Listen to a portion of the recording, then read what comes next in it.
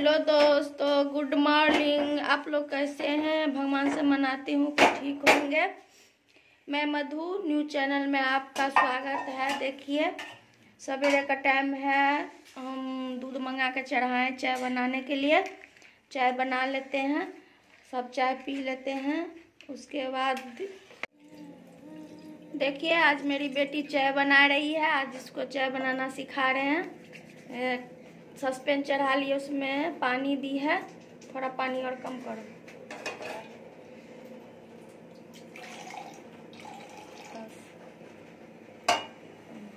चीनी चाय पत्ती डालिए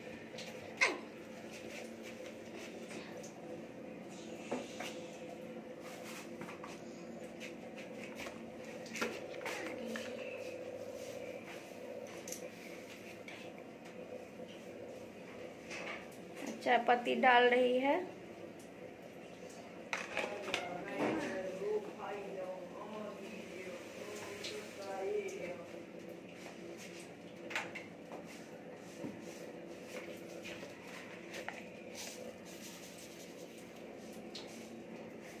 देखिए, चीनी भी डाल दी। और थोड़ा देर इसको खोलने दो, अदरक है तो डाल दो।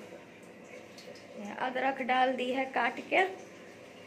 चाय बना बनाना सीख रही है। आज बोली है मम्मी हम ही चाय बनाएँगे। तो बोले ठीक है बनाओ सीखो चाय नहीं।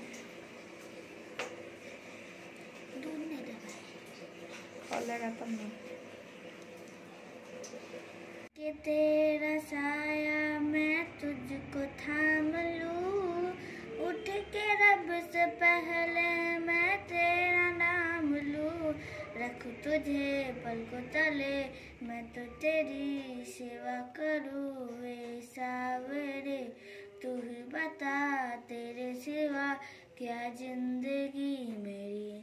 मैं तो तेरे सपनों के रंग में ढला, तेरी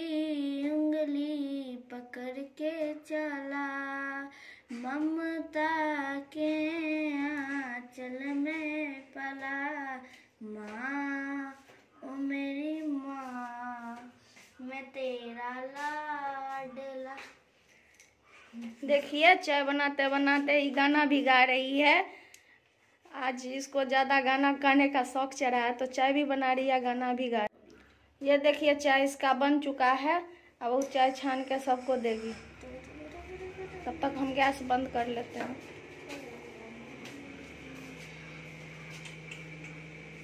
देखिए, चाय छान रही है।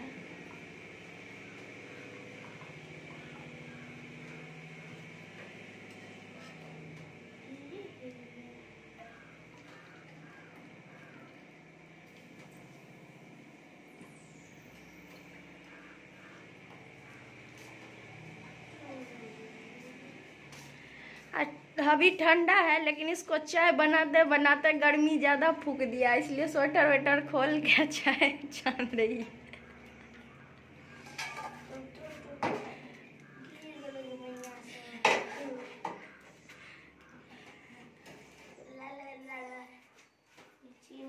जा रही है पापा को देने के लिए चाय।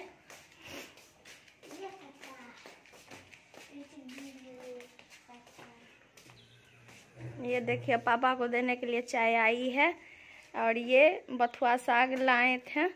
उसी को बीछ रहे हैं बैठ के आराम से। चाय पी लेते हैं। आप लोग भी आइए, मैं हम लोगों के साथ चाय पीजिए। हमने चाय पी लिया है। चाय अच्छा बनाई थी, लेकिन थोड़ा सा चीनी कम था, लेकिन ठीक चाय बना था। तो चाय पी लिए हैं, आ गए हैं नाश्ता बनाने के लिए। तो रात का थोड़ा बचा हुआ चावल था तो उसको देखिए, उसके लिए हमने यहाँ पे एक पत्ता गोभी छोटा सा काट लिए हैं, एक प्याज काट लिए हैं और दो तीन मिर्ची काट लिए हैं और इसको भूज लेंगे, भात के साथ फ्राई करेंगे। ये देखिए, हमने गैस पजार लिए हैं, कढ़ाई चढ़ा के तेल गरम कर लिए हैं। ये देखिए, तेल गरम हो चुका है, इसमें हम फोड़न के लिए जीरा डाल देंगे। जीरा को थोड़ा चटकने देंगे। देखिए, थोड़ा सा जीरा लाल हो चुका है। लाल हो गया है तो यहाँ पे हम तीन चार मिर्ची डाल देते हैं। देखिए, मिर्ची को पका लेंगे अच्छे से।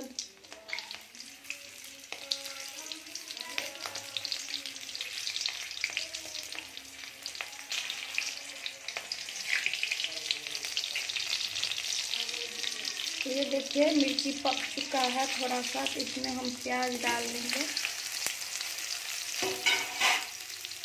प्याज डाल लिए हैं और प्याज को अच्छे से भूंज लेंगे। यहाँ पे देखिए थोड़ा सा टमाटर को हम भूंज लिए हैं एलसा लिए हैं थोड़ा सा हो गया है। अब हम यहाँ पे पत्ता गोभी डाल देंगे। पत्ता गोभी डाल दिए। इसको हम भूंज लेंगे। और यहीं पे हम नमक और हल्दी भी डाल देंगे और अच्छे से इसको भून ये देखिए हमने नमक, हल्दी देख ले, देखिए पता, गोभी में नमक, हल्दी डाल दिए हैं, इसको अच्छे से मिक्स कर लेंगे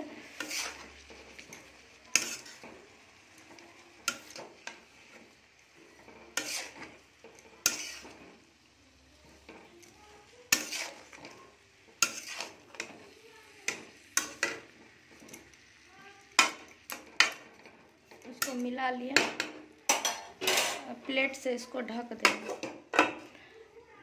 बीच बीच में चलाते भी रहेंगे और ढक के अच्छे से इसको पका लेंगे। ये देखिए, हमने पत्ता को भी भूज लिए हैं। अच्छे से पत्ता को भी भूंजा गया है, देखिए। इसमें कुछ भी नहीं डाले हैं, सिर्फ़ हल्दी और नमक और टमाटर डाले थे, उसी से इसको भूज लिया मसाला कुछ भी नहीं डालना है। थोड़ा सा भुंजिया हम निकाल लेते हैं। बच्चे के लिए थोड़ा सा ज़्यादा भुंजिया लग रहा था तो हम निकाल लेते हैं। साइड कर लिए। अब देखिए, इसी में हम रात का बचा हुआ थोड़ा चावल बच गया था रह गया था तो इसी को भूंजेंगे डाल के। इसमें चावल हम डाल लेते हैं।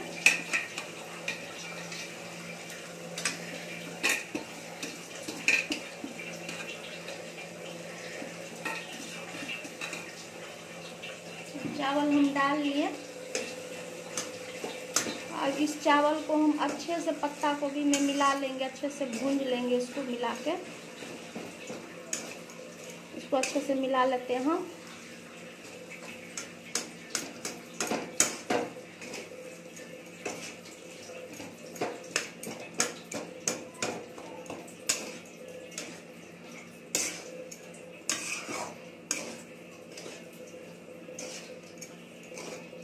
देखिए, अच्छे से हम इसको मिला लिए और इसको पाँच मिनट तक इसको भूज लेंगे।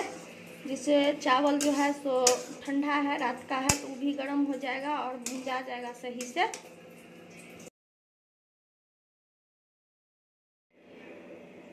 आप लोग भी ऐसे चावल फ्राई करके खाइए।